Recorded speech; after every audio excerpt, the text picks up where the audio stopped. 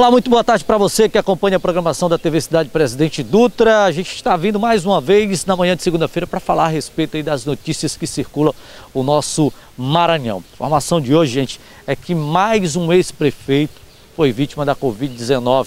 O ex-prefeito de Poção de Pedra e ex-secretário de Saúde do município de Tuntum, no Maranhão, Gildásio Ângelo, morreu em decorrência de complicações causadas aí pelo vírus da Covid-19.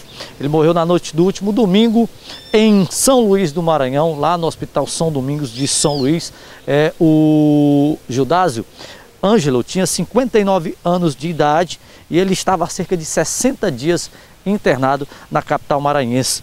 Gildásio foi prefeito de Poção de Pedra é, no mandato de 2009 a 2012, secretário de saúde do município de Tuntum e diretor da FAMIN na última gestão é, do ex-presidente Cleomar Tema. Ainda falando a respeito das notícias que circulam no nosso estado, falar a respeito aí de uma apreensão que a Polícia Rodoviária Federal realizou nas rodovias que passam aqui pelo nosso Maranhão. Foram cinco carretas carregadas de madeira, meu amigo em Açailândia, onde a polícia apreendeu esses veículos. Né?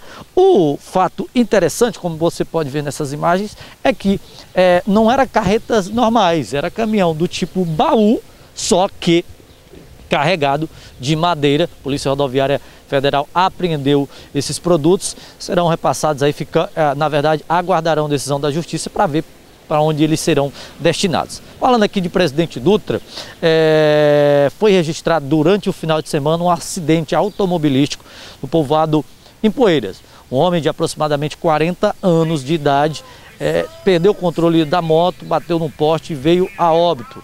A vítima foi identificada como James Gualté, de 39 anos, que faleceu durante o final de semana. Daqui a pouquinho a gente traz mais informações para vocês dentro ainda do programa Balanço Geral.